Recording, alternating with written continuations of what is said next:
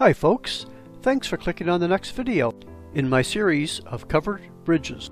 Welcome to Graham Creek, Kent County, not far from Rexton. One of only two bridges remaining in Kent County. Let's do a drive-through. There's lots of light coming through the cracks, and we'll blow the horn a wee bit, just to let people know we're coming. The Graham Creek Bridge was built in 1928. The vertical siding appears to be in good shape. This is a 41 meter single span as it crosses the Graham Creek at this very narrow point. I'm not really sure, but the local residents might call this area the Narrows.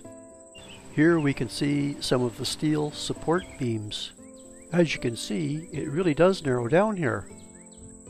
Once again, very popular Howe and Queen trusses.